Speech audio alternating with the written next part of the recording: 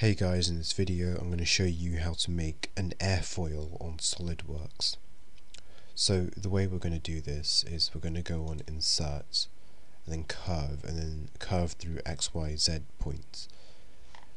So over here we need to actually if we if we browse here because it, it accepts two different types of files so we got a text file and then this so we're going to find some coordinates online. So the website that I use is um, a place called airfoils to airfoiltools.com and if you just search on it you you can get all sorts of equations for different airfoils.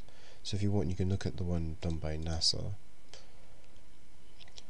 And so if you want to actually um, download the coordinates of this um, you can go on um, Selig format DAT file. It's the DAT file that we want. So if we go on this, it opens up on here.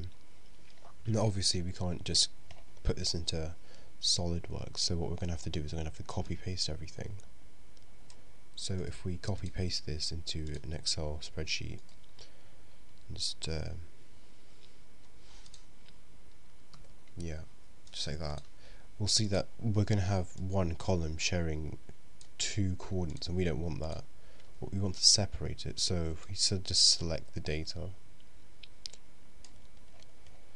Go on data and then text columns. We want it to be delimited. Um, space. Yeah. Next. And finish. Okay so so okay, so this part messed up a little bit, so I'll just change that. So one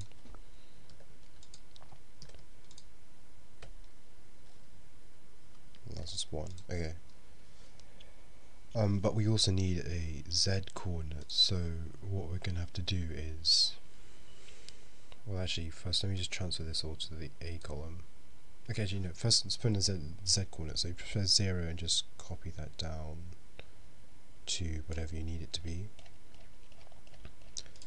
then you can just take all this. I, I don't think you actually have to do this but it looks a lot nicer when you save the DAT file. Just so it just so it all looks organized. Okay so now you want to go on file save as. Okay, save on your desktop whatever. And you want to save it as a it's down here it's called a tab a text tab delimited file. That's what we want. I'll just call this chords. Okay so that's on my desktop. So if I go back into SolidWorks and I click on browse uh, and change this to say text files. So just to save some time I've already got the um, the line drawn on my my um, my plane here um, it, it does tend to glitch out when you plug in the coordinates and if it does like say file not supported which which is not meant to say that just keep on like saving your documents reload your thing and it, it, it worked for me. So anyways, once you get the actual shape you want to transfer it onto an actual plane. You want to create a new plane and just transfer the coordinates on.